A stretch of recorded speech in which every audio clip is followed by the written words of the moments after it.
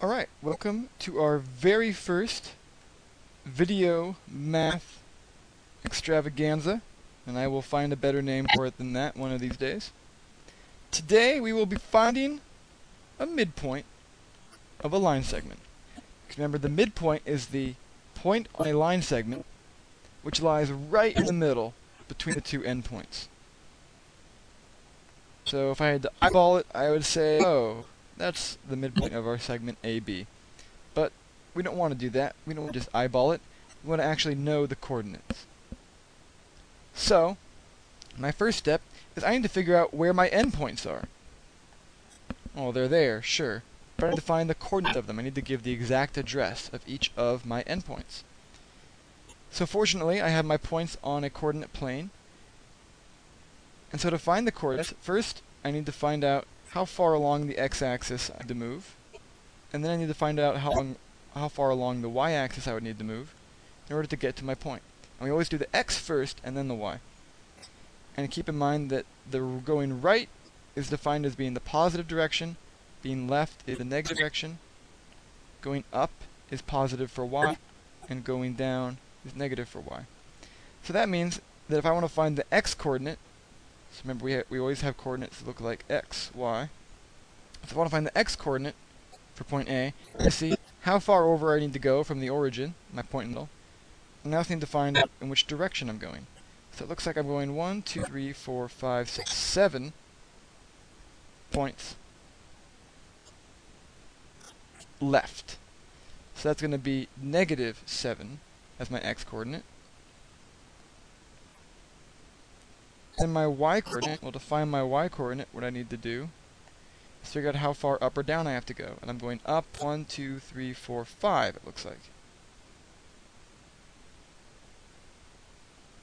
So the coordinates of A are negative 7, 5. I then need to find the coordinates of B. So I repeat the procedure, and I count over, and I find that I am 1, 2, 3, 4, 5, 6 over and I am 1, 2 down. So 2 down means the y-coordinate would be negative 2. And then of course I go ahead and put my coordinates in parentheses and I throw in a comma to differentiate between the two. So I know that this is my x and this is my y coordinate. Alright, now that I have that, I'm actually almost done all I have to do is use the midpoint formula. And if we understand what the midpoint formula is saying, then this actually won't be too bad for us. This notation here, I say x with a little mid under it, we call that x sub mid. What I'm saying there is I want the x coordinate of the midpoint, and this will represent the y coordinate of the midpoint. Remember, the midpoint is a point. Just like a and b are points. It has to have two coordinates. So we have to find two different numbers an x-coordinate, so how far along here, and a y-coordinate, how far along here. I have to I have to go find my midpoint. And you can think of this as being two different equations if you like. If you want, you could always just say x mid equals something and y mid equals something. And in this case, we'd have xa plus xb over 2 ya plus yb over 2. So long as you remember that these two values that you're creating are coordinates. So, what I should do next, I find a very helpful step when solving a problem like this, is to just make a table where I list all of the different values that I have. So I'm going to make a table.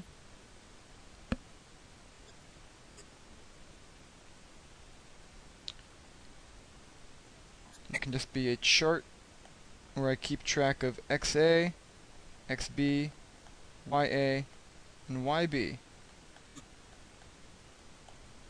Alright, so XA is going to be negative 7.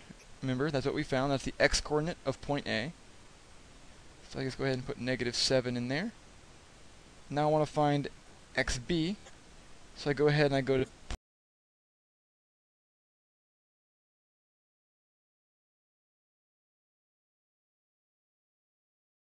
B and I look for its x coordinate, which is 6. Remember, x coordinate is going to be the first coordinate, not the second coordinate. And I know I'm looking for point B because that's what I have there. So that was negative, I'm sorry, that's 6 xb equals 6. So try it out.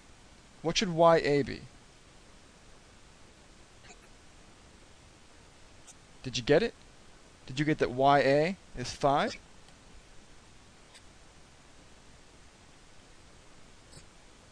And then yb, the y coordinate of point B, is going to be negative 2. Great. Now I have everything I need. All my information is right here. I don't have to go scrolling up and down between the charts, I'm sorry, the graph and my table of information here. I can just use the information in this table and the information in my equation to find the midpoint. So, find the x-coordinate of the midpoint by plugging in my values here. Let's use blue. So a is negative 7, so we're going to say x mid equals, I just move this down here, x mid equals, and now I know what xa and xb are, so would, that would be negative 7 plus 6 over 2, which equals negative 1 half. And I know that y of the midpoint, so a plus yb over 2. So what should I do?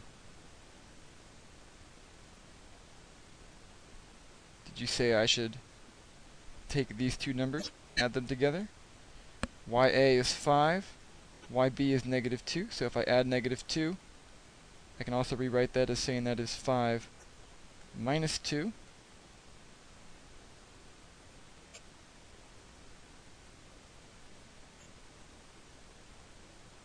which equals 3 over 2. 3 halves. Great. So now I know the x-coordinate of my midpoint and the y-coordinate of my midpoint. So I know that my midpoint, or we can be very technical and call it the midpoint of AB,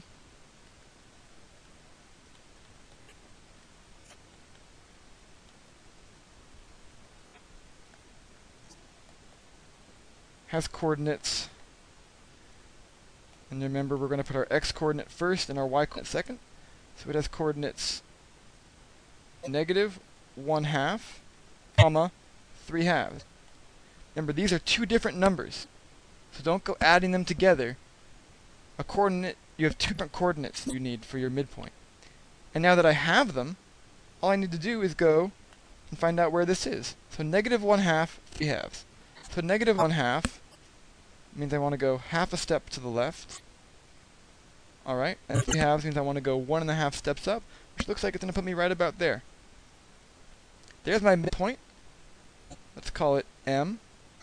And it has coordinates negative 1 half, 3 halves. And there we go. That's the end. We found a midpoint of our segment. We did that by looking at the coordinates of our two points, making a table of all the important information, like those coordinates that we just talked about, and then we just simply plugged our values in to the midpoint formula. And you can either use this one big step here, or you could use these two little smaller steps right here. And then remember that each of those is only half of your answer. Each of those is one coordinate, whereas you need both coordinates in order to have the location for a point. Alright, thanks for watching. Stay tuned for more, including hot practice problems. We'll catch you later.